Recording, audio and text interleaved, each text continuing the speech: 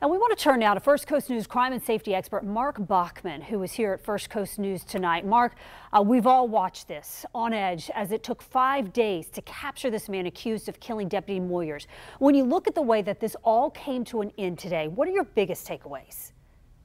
Well, the biggest takeaway for me is just the, the relentless pursuit of it. I mean, the leadership of the sheriff here, who was very candid with the public, said what, what they, you know, what, what they were going to do they quadranted off an area. You had, you had 15 to 20 different agencies assisting, and they never gave up the scope of, a, of looking for them, uh, and, they, and they just tracked them down. They tracked down somebody that killed one of their own, and that's what they should have done. Uh, and that was, that was, to me, the, the, the most uh, daunting task for them. You know they're tired.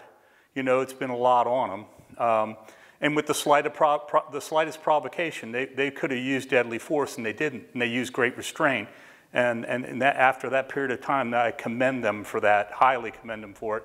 But at the same time, you know, what the sheriff said isn't too far afield from the way most people, especially law enforcement, think.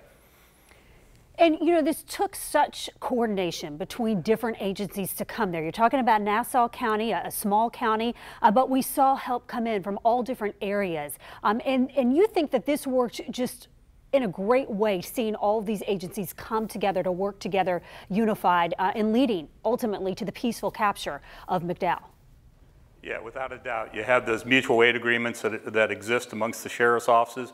You had state agencies, you had federal agencies, some, you know, just, it had all of, of everybody that they could that could give people to assist, and they did. And even, even with that many people and the growing numbers kept growing daily to search for them, yeah, they were still tired. But like the sheriff said, they were not going to give up, and they didn't.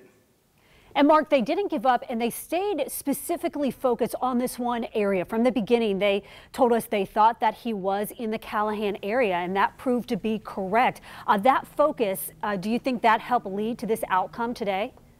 I do. I think it. Uh, they knew that they that he had uh, gotten in that area, and they set up a quick perimeter right away. Um, they quadrated off immediately. We, the sheriff did a fantastic job of making the public aware of it, especially the people that live in that Callahan community. So uh, I think they felt good that he was still there. Uh, you know, you just had a vast area there to cover. It was going to take some time, that's for sure. And it did. It took five days, but it resulted in his apprehension, and they never gave up. All right, Mark Baughman, our crime and safety expert. Thank you for your expertise tonight, and we'll continue to touch base with you on this developing story. Thanks, Mark.